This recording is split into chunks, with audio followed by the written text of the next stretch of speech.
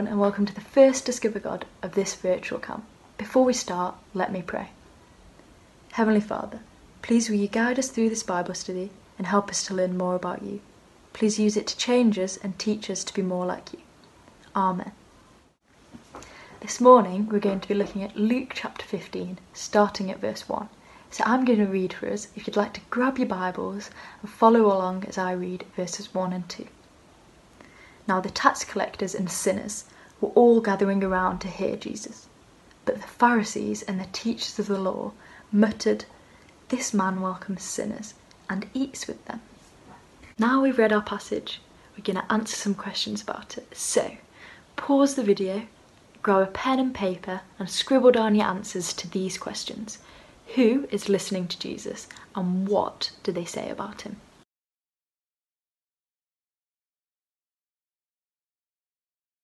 The Pharisees and the teachers of the law are with Jesus. They are shocked that he is with sinners. They think they are better than everyone else, so Jesus tells them a parable. Open your Bibles and we'll find out what this parable is, starting from verse 3. Follow along as I read. Then Jesus told them this parable Suppose one of you has a hundred sheep and loses one of them. Doesn't he leave the 99 in the open country and go after the lost sheep until he finds it. And when he finds it, he joyfully puts it on his shoulders and goes home. Then he calls his friends and neighbours and says, Rejoice with me, I have found my lost sheep. I've got some more questions for you guys so we can dig deeper into this passage. So grab your pen and paper and pause the video while you scribble down the answers to these questions. How many sheep does he have? How many sheep does he count one day? And what does he do about it?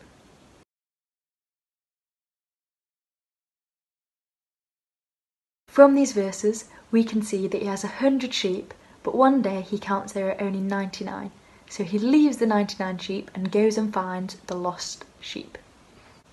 I want you guys to try and find the main point of this passage now. So you're going to pause your videos, read verse 7 and scribble down on your paper what verse 7 says the main point of this passage is.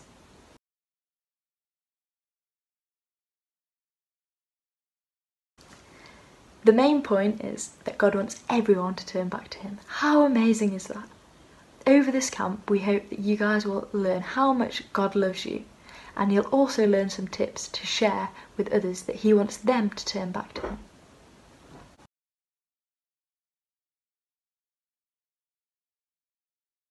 We've reached the end of today's passage and the end of our first Discover God together. Let me pray as we finish. Lord Jesus, thank you that you love us all so much. Please help us to share with those around us that you want them to turn back to you. Amen. We hope this has been a great start to your day. Don't forget to tune in to the main event later, and we'll see you tomorrow for Discover God again.